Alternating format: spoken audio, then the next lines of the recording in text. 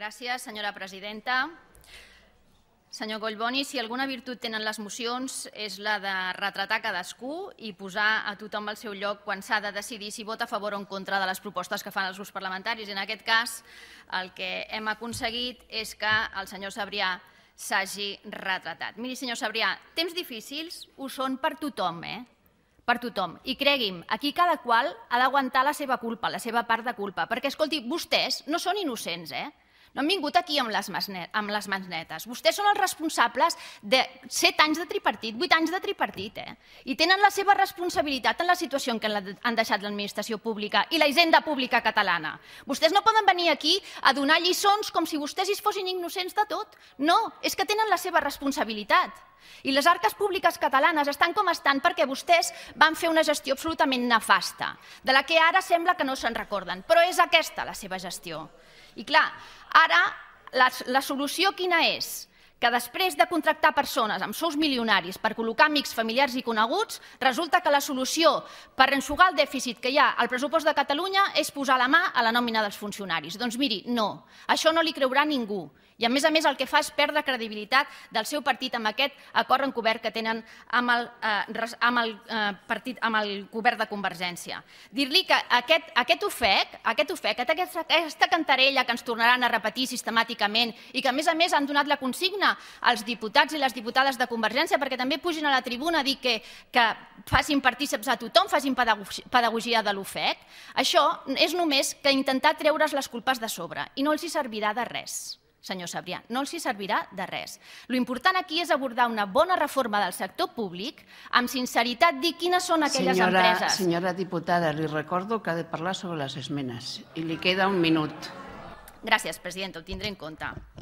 Bé, doncs eh, parlarem sobre les esmenes. Dir-li que en, les, en, les nostres, en la nostra moció el que es fa és una proposta, com diu el senyor eh, Vidal, el que es fa és una proposta d'abordar una veritable reforma del sector públic per tal d'estalviar allà on sigui possible estalviar i no del sou dels funcionaris, perquè els funcionaris són una eina bàsica, no són estructures d'estat, són servidors públics al servei dels ciutadans de Catalunya i fan la seva funció des de la sanitat, des de l'educació, des de la seguretat, des de la justícia i vostès no se'ls poden apropiar i a més a més, a sobre, retallar-los el sou.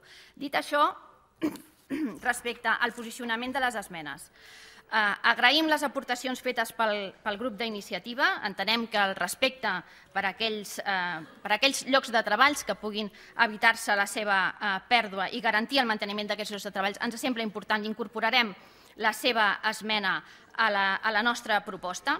També incorporarem la proposta que, fa, que ens fa el Partit eh, Socialista d'incorporar l'elaboració de les lleis, en el punt número 2, les lleis eh, que s'han de presentar al Parlament i que porten anunciades ja durant bastant temps, a més a més de eh, establir un termini determinat perquè aquesta comissió vingui a donar eh, resposta de quines són les conclusions dels treballs que han fet, ens sembla important perquè entenem que quan un govern no té cap voluntat política de tirar endavant una reforma o d'elaborar lleis que resolguin problemes, el que fa és fer llibres blancs, convocar comissions, demanar informes, però la veritat és que nosaltres el que volem és limitar l'elaboració d'aquests informes i d'aquestes comissions perquè vinguin a retre comptes al Parlament, que és on ho han eh, de fer. I per últim dir que també eh, afegirem les esmenes del Partit Popular, al número 2, per tal de, de delimitar i fer eh, efectiu en el termini de tres mesos el pagament del deute pendent de la Generalitat de Catalunya. Perquè, miri, senyor Sabrià, també els ajuntaments li podrien dir